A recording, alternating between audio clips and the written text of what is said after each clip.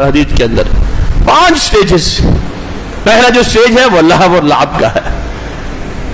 दूसरा स्टेज जो है, वो जीना का है बनाओ समार का है। और तीसरा जो स्टेज है, वो तफाखुर का है।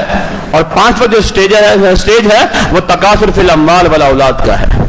ये पाँच स्टेजेस अल्लाह ने कुरान मुकदस में सूर्य हदीद में दुनिया के बयान किए पहला जो स्टेज है, ये लाभ और लाभ है, बस। ये कौन सा टाइम पीरियड है? ये बचपन है। ये पैदाइश से लेके आपके पाँच से छह सात साल तक की उम्र का टाइम पीरियड है। शामीन मोहतरम।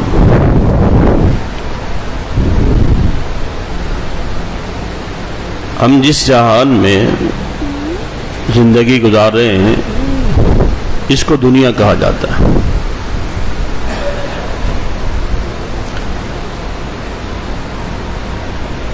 और इस जहान के बारे में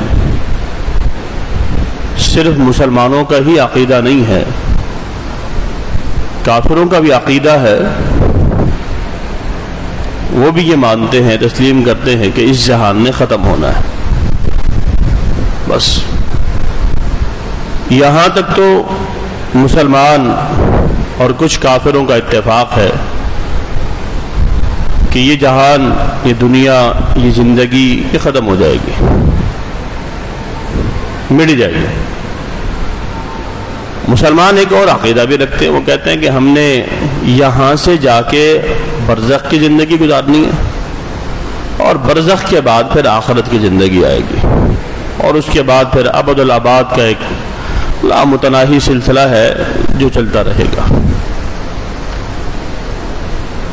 लेकिन इस निज़ाम दुनिया तक तकरीबन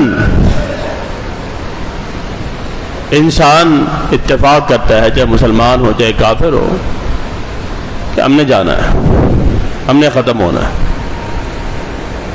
वो टाइम पीरियड कितना है? डिफरेंट किसी का कुछ है, किसी का कुछ है, कोई चालीस साल, कोई पचास साल, कोई साठ साल, कोई सौ साल मैक्सिमम सौ, एक सौ दस साल। अब जो जा रही हैं, वो भी वन परसेंट है पॉइंट फाइव परसेंट ऐसे जा रहे हैं, जो एटी से नाइन्टी से अब जा रहे हैं। पर इससे ऊपर की उम्र नहीं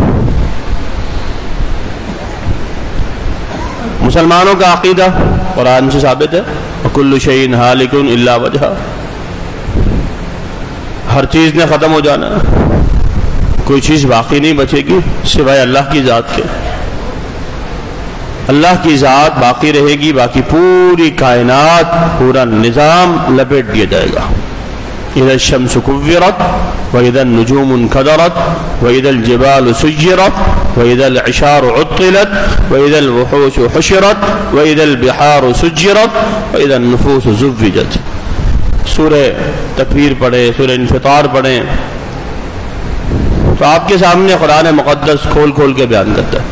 इधर समा फ़तरत वैदल कवाकिब तथरत वैदल बिहार फुजरत ये सारा निज़ाम चाँद सूरज ज़मीन सैारे ये पानी ये समंदर ये सब लपेट दिया जाएगा सब ख़त्म हो जाएगा तबाह बर्बाद कर दिया जाएगा इस निज़ाम को बिल्कुल ही मिटा के रख दिया जाएगा निज़ाम ख़त्म हो जाएगा जिस दुनिया में हम रह रहे हैं, जो ज़िंदगी जिसमें हम गुजार रहे हैं, ये खत्म हो जाएगी। और फिर कब खत्म होगी इसका भी इंसान को इलम नहीं है कि खत्म कब होना। इसमें भी काफिर और मुसलमान मुतफिक है। काफिर का भी अकीदा नहीं है कि हाँ मुझे पता है कि मेरी मौत कब आनी है। नहीं, वो ये नहीं कहता। वो भी ये समझता है कि पता नहीं कब नकारा मौत बच जाए। और हम निकल पड़े आगे की तरफ़। मुसलमान का भी यही अकीदा है कि किस लम्हे मौत आ जाए, कुछ नहीं पता। कब आ जाए, कब जो है, वो रूह कब्ज कर ली जाए, कुछ इंसान के इलम में नहीं है। इंसान बिलखसूस मुसलमान की अगर बात करें तो मुसलमान तो सेकंडों पे भी भरोसा करने को तैयार नहीं है। सेकंडों पे भी। पता नहीं अगला सेकंड मेरी ज़िंदगी में है भी सही या नहीं? मौजूद भी है या नहीं? तो इतनी बेसुबाती है इस ज़िंदगी की, इस दुनिया की, जिस दुनिया में हम जी रहे हैं, जिस दुनिया के अंदर हम मौजूद फिर इस दुनिया के बारे में काफिर को हम क्या समझाएँ? हम मुसलमानों को समझने की ज़रूरत है। एक है अकीदा। एक है नज़रिया कि मुसलमानों का नज़रिया है, अकीदा है कि हाँ दुनिया ने खत्म हो जाना है, दुनिया ने मिट जाना है। एक है मेरी और आपकी अमली सूरत कि क्या अमलन भी मैं और आप इस बात के कायल हैं कि दुनिया ने खत्म हो जाना है? अमलन। एक ये है कि मैंने और आपने उलमा से सुन लिया कुरान मुकदस का तर्जमा पढ़ लिया, अहादीस सुन ली, पढ़ ली। जिनसे हमारे सामने ये अकीदा वाजे हो गया कि वाकई दुनिया ने ख़त्म होना एक है हमारा अमल, हमारी रूटीन की लाइफ, हमारा सिस्टम, मेरे शब रोज, मेरा उठना बैठना, मेरे चाल चाल ढाल, मेरे मामलात, ये सारी बातें क्या गवाही दे रही हैं कि मेरे अकीदे में और मेरे अमल में मुमासलत है? नहीं, वो कहीं मुमासलत नहीं पाई जाती। बहसीत मुसलमान होने के मेरे अकीदे और मेरे अमल में मुमासलत नहीं है। मेरा अकीदा ज़रूर है कि इस दुनिया ने खत्म होना है। मेरा अकीदा ज़रूर है कि इस दुनिया ने मिट जाना है। मुझे मौत आनी है, मैंने मरना है। रोज़ाना ना सही दूसरे दिन, तीसरे दिन, चौथे दिन मैं किसी ना किसी मैयत को तदफीन करने जा रहा होता हूँ। कब्रिस्तान जा रहा हूँ, किसी की सुन रहा हूँ, किसी की मैयत में जा रहा हूँ। किसी के जनाजे में शरीक हो रहा हूँ, किसी की तदफीन में शरीक हो रहा हूँ। ये हो रहा है। लेकिन इसके बरक्स मेरी अमली ज़िंदगी जो है, वो मेरे अकीदे और मेरे अमल में मुआसलत नहीं रखती। अकीदे और अमल में मुआसलत नहीं है। हम मुसलमानों का एक अलमिया ये भी है कि हम अकीदे की बुनियाद पर अपने आप को कामयाबी का ठेकेदार समझ के बैठ जाते हैं कि मेरा अकीदा और फिर अपने मतलब की वो अहदीस सारी निकाल के मैं अपने अकीदे पे चश्मा करता हूँ, उसको अवेजा करता हूँ, कहता हाँ बस मेरा अकीदा ठीक है, बस मेरे कामयाब हो जाऊँगा।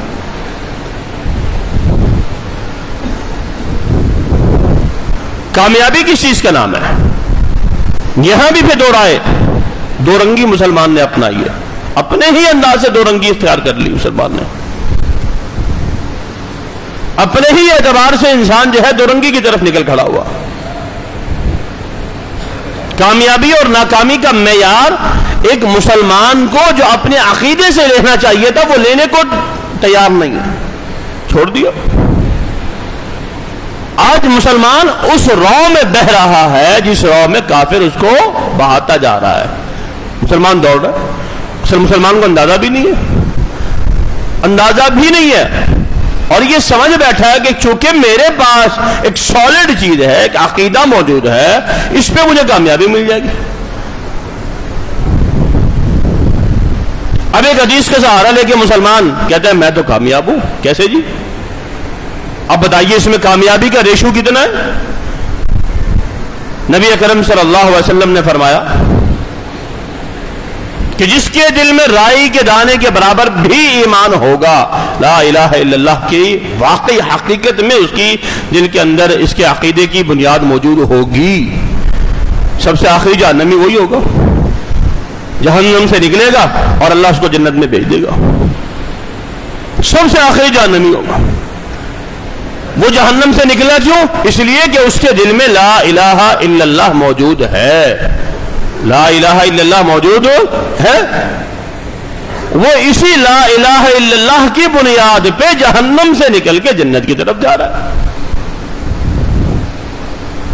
और उसको फिर अल्लाह रबालमीन कितनी बड़ी जन्नत अदा फरमाएगा। ये पूरी दुनिया कायनात से बड़ी जन्नत। अल्लाह उसको अदा फरमाएगा। ये हमने सुनी हदीस, बिल्कुल है, बिल्कुल ठीक है। लेकिन सवाल ये पैदा होता है कि क्या ये कामयाबी है? कितना टाइम पीरियड कितने साल माह वो जहन्नम में जल के, जल भुन के, सजा भुगत के, अपने सजाओं की सजा जना गुनाहों की सजा भुगतने के बाद फिर जहन्नम से निकल के जन्नत की तरफ़ जा रहा है। मुसलमान ये समझ बैठा है कि जहन्नम की आग, ये दुनिया की आग जैसी है हल्की बुल्की है, थोड़ा बहुत जल जाएगा, बरनौल चलो लगा के हम पास हो जाएँगे। बायोटीन से काम चल पड़ेगा। मुसलमान जहन्नम की आग, दुनिया की आग जैसी नहीं। ये अकीदा तुझे जहन्नम से निकालेगा ज़रूर, लेकिन जहन्नम में लेके जाएगा पहले। तेरे अमाल, वो अमाल लेके जाएँगे। अमल नहीं है तो जहन्नम में जाएगा। जहन्नम में चलेगा सजा भुगतेगा।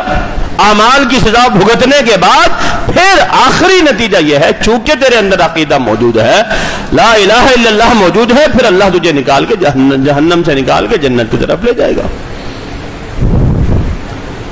कामयाबी कुरान ने क्या फरमा मैं यूसरफ अनु यौम दिन फ़कत रहमा। अल्लाह अकबर।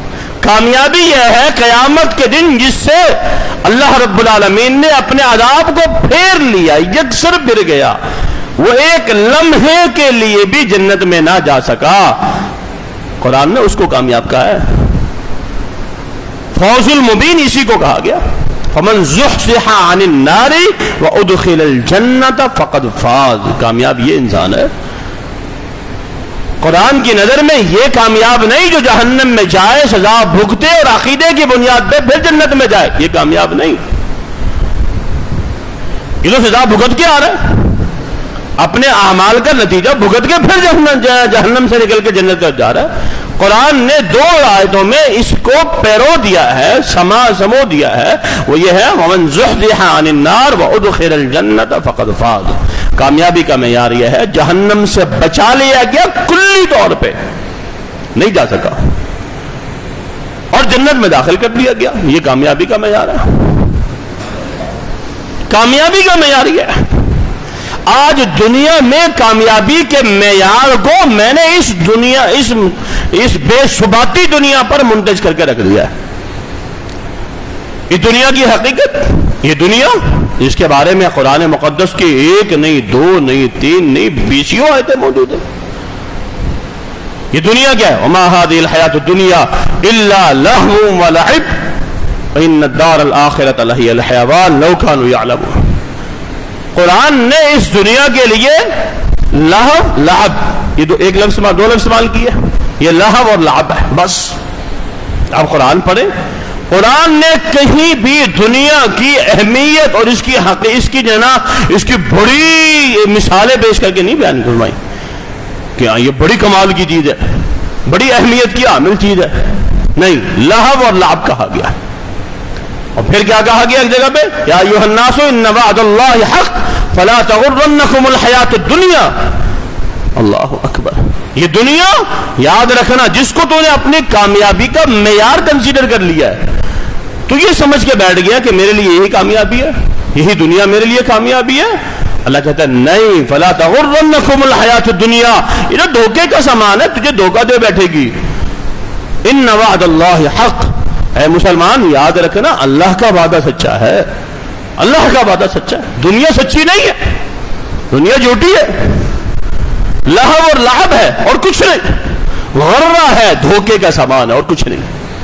दो लफ्ज। तीसरा, अल्लाह रबालमीन ने इसी दुनिया के लिए फरमाया उमा हादिल हयात दुनिया मताउन। ये दुनिया सिर्फ़ और सिर्फ़ मता है, फ़ायदा उठाने की चीज़ है, बस। और कुछ भी नहीं है। ये तीस ती, तीसरा मकाम कुरान का। पहला लहब और लाभ तीसरा गर्रा धोखा और तीसरा मता। कभी जाए कुरान मुकदस को पढ़े गौर करें। आप अरबी ग्रामर पढ़ाने वाले पढ़ने वालों के सामने बैठे और उनसे पूछे कि शेख हमें इन तीन लफ्जों के मफहूम की तरफ़ लेके चले। लहब और लाभ क्या है? लहब और लाभ अल्लाह अकबर। लहब और लाभ सुरह हदीस पढ़े, आपके सामने और खुल जाएगा मामला। एलमो अन्नमल हयात दुनिया, लाइबू वल्लहव अल्लाह अकबर। दुनिया को अल्लाह ने लहव और लाभ कहा है। दुनिया के पाँच स्टेजेस बयान किया अल्लाह ने सूर्य हदीस के अंदर। पाँच स्टेजेस पहला जो स्टेज है, वो लहव और लाभ का है। दूसरा स्टेज जो है, वो जीना का है। बनाओ समार का है। और तीसरा जो स्टेज है, वो तफाखुर का है। और पांचवा जो स्टेज है स्टेज है, वो तकासुर फिल अम्माल वाला औलाद का है। ये पाँच स्टेजेस अल्लाह ने कुरान मुकदस मसूर हदीद में दुनिया के बयान किए पहला जो स्टेज है, ये लाभ और लाभ है, बस। ये कौन सा टाइम पीरियड है? ये बचपन है। ये पैदाइश से लेके आपके पाँच से छह, सात साल तक की उम्र का टाइम पीरियड है। ये जो टाइम पीरियड है ना, ये लाभ और लाभ का टाइम पीरियड होता है। बंदा बड़ा हो गया ये टाइम पीरियड पैदाइश से पाँच से सात साल की उम्र तो याद भी नहीं होती इंसान को। याद ही नहीं होती। पता ही नहीं चलता कि मैं इस, इस उम्र में क्या करता था। हाँ दस से ऊपर तो फिर भी कुछ ना कुछ याद रख ही लेता होगा इंसान लेकिन इस टाइम पीरियड को याद ही नहीं रख सकता।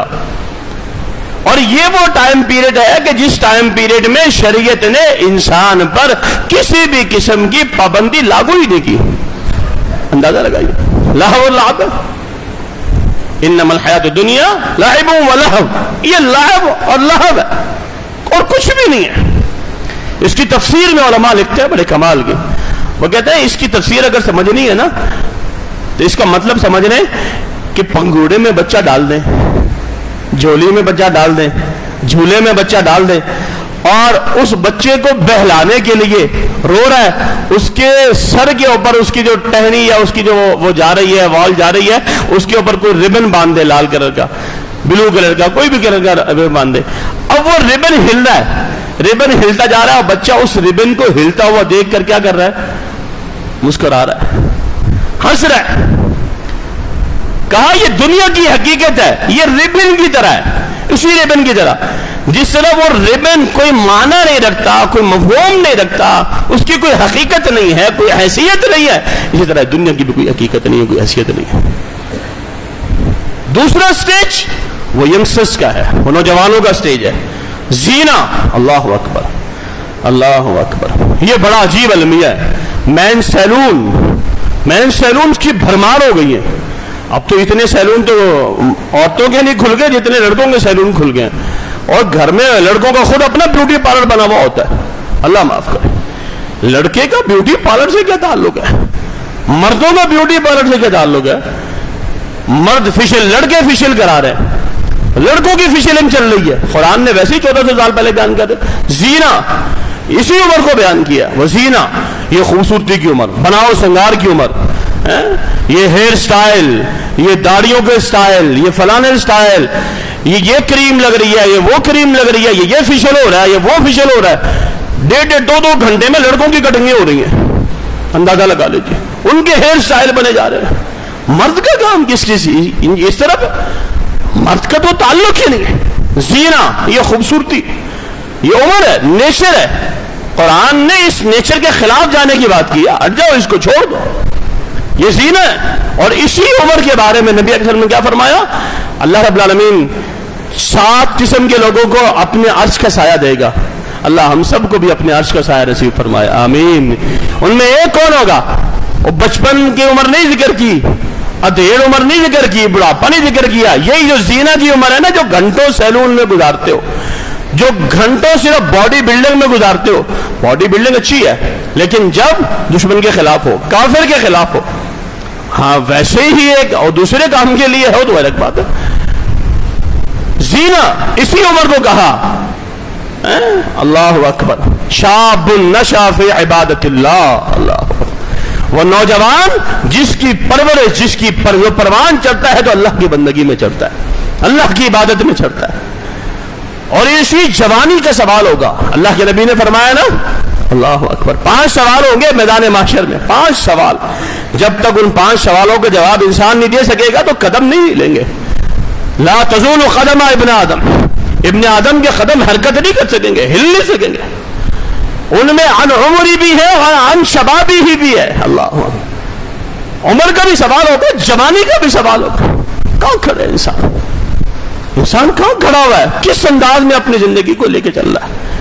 जीना इंसान अपने आप को बनाता है, संवारता है, खूबसूरती बनाता है। तेरी खूबसूरती रब के सामने है वो इबादत में है वो अल्लाह की बंदगी में और तीसरा स्टेज जो है, वो क्या है? तफाखुर का, या डेढ़ उम्र का है। ये 25 से 35 और 40 साल की उम्र के जितने भी लोग हैं, अब इनकी ज़्यादातर मेंटेलिटी क्या होती है? इनको जहाँ ये, इस एज के लोग बैठे हो, इनकी गुफ्तगु का लुबे लुबाबी होता है। मेरी इतनी फैक्ट्री, मेरा इतना कारखाने, मेरा इतना बैलेंस, मेरा ये, मेरा फलाना, मेरी इतनी गाड़ियाँ, मैंने ये पहन लिया, मेरा पुत्र सिटी स्कूल में, मेरा बिके ना उसमें, मेरा ये। जहाँ एक रुपया खर्च करना होगा, वहाँ दस रुपये खर्च करेगा, जहाँ दस करने होंगे, वहाँ पचास रुपये खर्च करेगा। ये तफाखर फख्र की ज़िंदगी। फख्र या ज़िंदगी इंसान गुजारता है। और फख्र में घूम रहा है, घमंड में घूम रहा है इंसान। तफाखुर अपने आप को बढ़ा चढ़ा के बयान करता है। कहीं तो ऐसी भी रूटीन है। बंदा मोबाइल लेके आया, पाँच हज़ार रुपए का। दोस्तों के सामने बैठा, पच्चीस हज़ार रुपए का मोबाइल लेके आया अल्लाह फखर, तफाखुर। अपने आप को बढ़ा चढ़ा के पेश करता है। ये तीसरा स्टेज चौथा स्टेज है। और फिर तीसरा स्टेज इसके अलावा आगे चले। फिर क्या है? तकासुर फिल अम्माल वल औलाद ये बुढ़ापे की उम्र है। बाबे के नाल बह जाओ। पूछो फिर हाल की होंगे बाबे का बाबा क्या कहेगा? मैंने इतने पैसे बैंक बैलेंस बनाया है। मैंने इतनी जायदादें इकट्ठी की हैं। मैंने ये किया है, मेरे इतने पोते, मेरे इतनी पोतियाँ, मेरे इतने नवासे, मेरी इतनी नवासियाँ। इंसान के फखर का अंदाज देखें, कहीं भी अल्लाह की बंदगी नहीं है। कहीं भी अल्लाह की बंदगी नहीं है। जवानी में अल्लाह की बंदगी नहीं, अधेड़ उम्र में नहीं, बुढ़ापे में नहीं। किस बात पे फखर कर रहा है? दुनिया मजरातुल आखिरा। अल्लाह अकबर।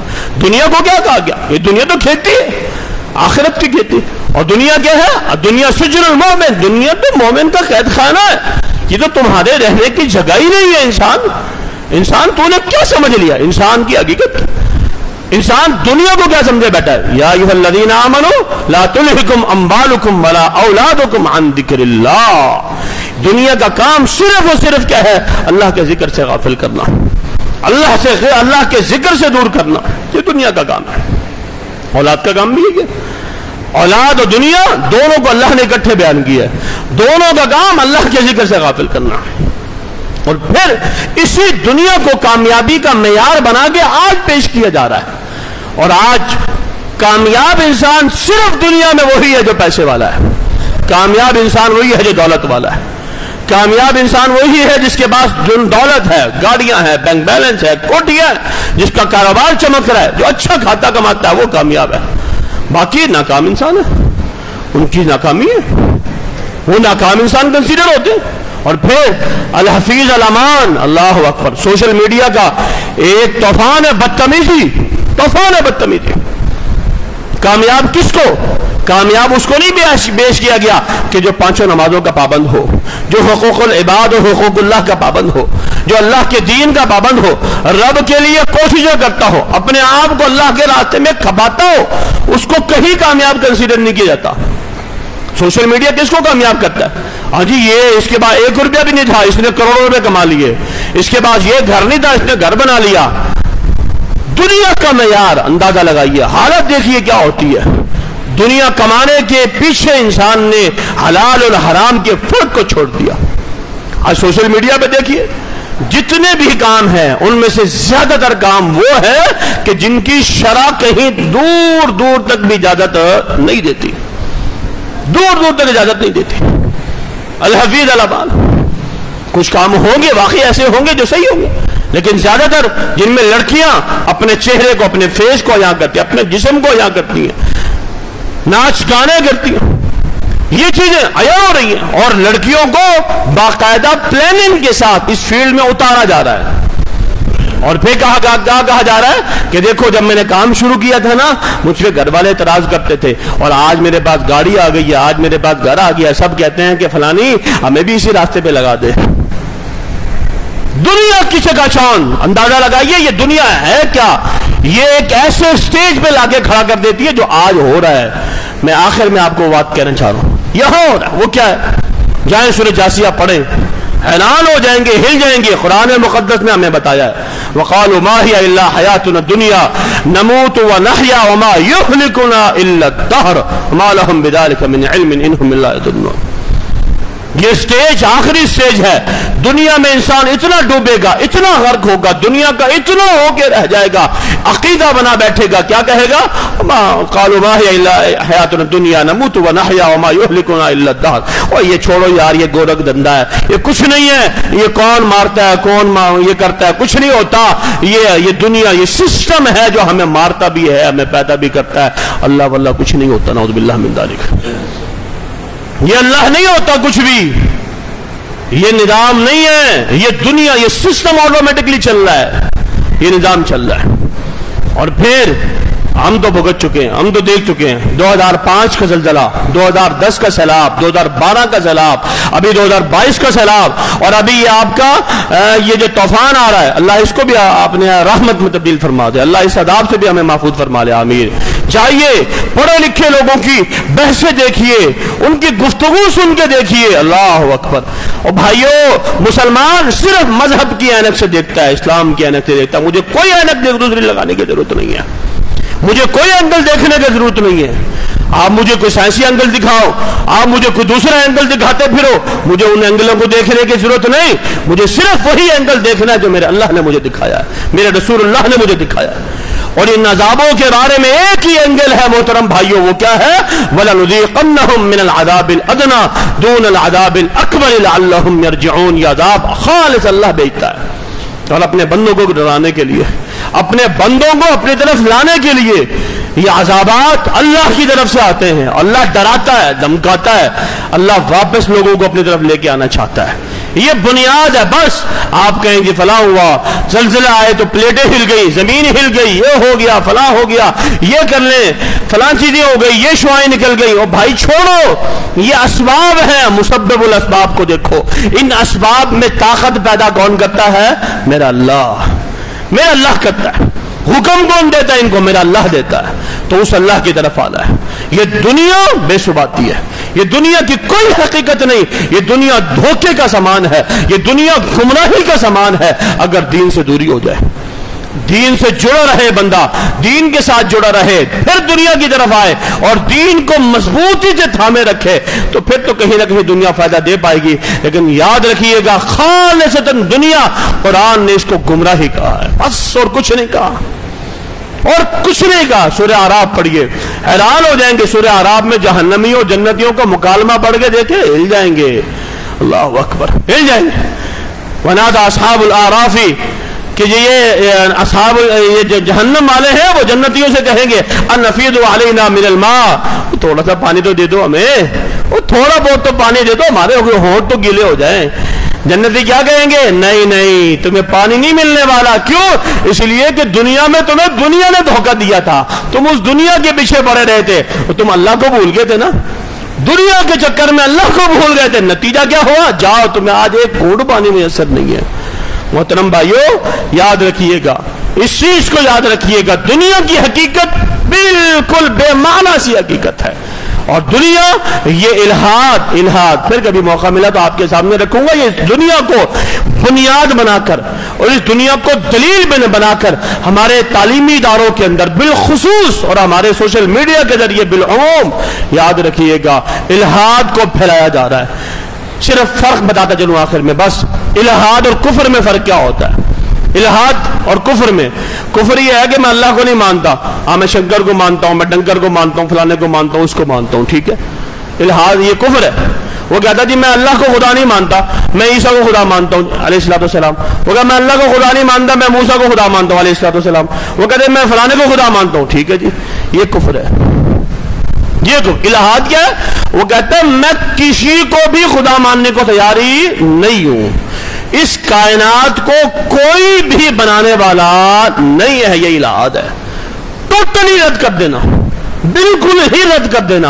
आज कुफर से ज़्यादा इलाहाद तेज हो चुका है। इलाहाद दे दोगे। और उस इलाहाद का सबसे बेहतरीन टूल जो है, ज़रिया है, हथियार है, वो ये दुनिया है। ये पैसा है, ये दौलत है।